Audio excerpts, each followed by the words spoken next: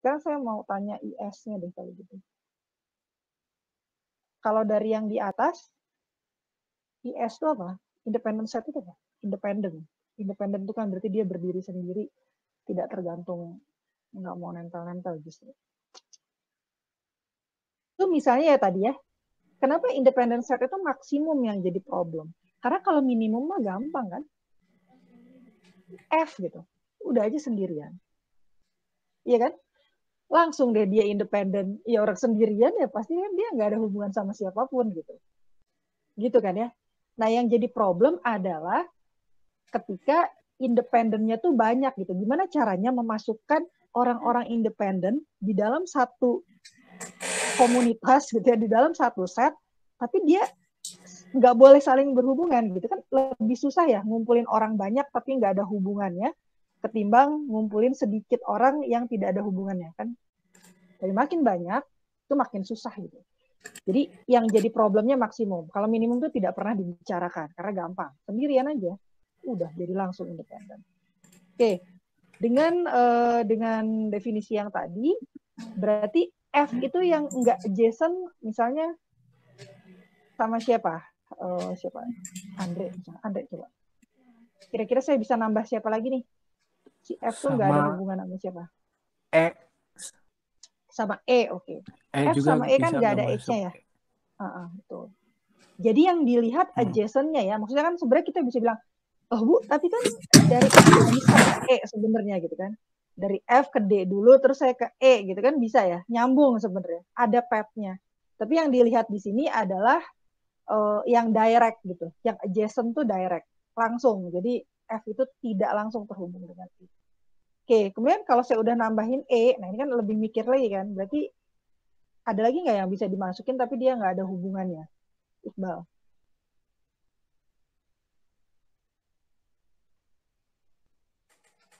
Kayaknya udah sih, Bu. Soalnya akan nggak ada lagi. sama P sama Oke, okay. sisanya kan sisanya A, B, C, D. Kalau D bisa nggak? D kalau saya masukin D jadi salah nggak independent setnya gitu? Cara ngeceknya ngerti nggak? Kalau saya masukin D, masih independent set nggak? Ini masih tiga-tiganya ini tidak ada hubungan nggak? Yang D ada sih, Bu. Dengan yang? B. Dengan yang? B. Hah? Dengan siapa? B. Iya. Kan di sini nggak ada B. Yang dilihat ini aja. F. Oke, dengan F ya.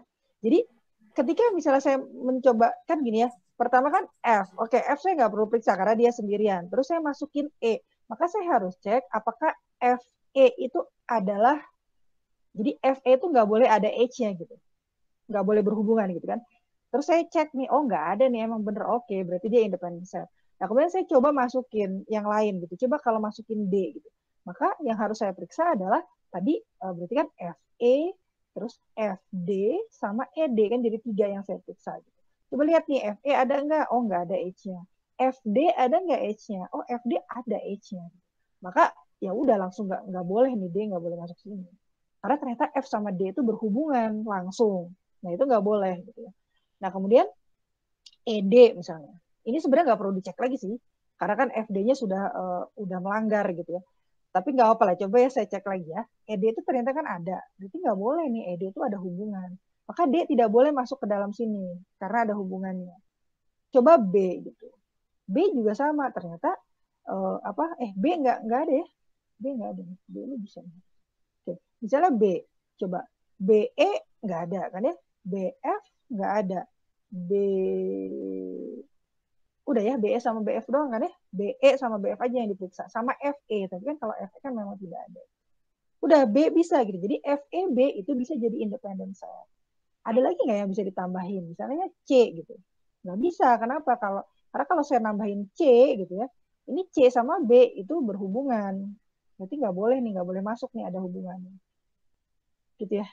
Jadi kalau masuk mungkin kalau ini kali ya kalau masuk kerja gitu nggak boleh ada nepotisme nggak apa ditolak gitu ya nggak nggak kalau ngelamar masuk tuh nggak boleh gitu karena oh ternyata dia ada hubungan ini sama siapa gitu bosnya gitu oke terus udah gitu tadi udah nyobain D, B, C. Oke, kita nyobain A gitu. Pas kita masukkan A, bisa nggak? Oh nggak bisa. Kenapa? Karena dia punya hubungan sama B. Berarti ya udah FEB aja.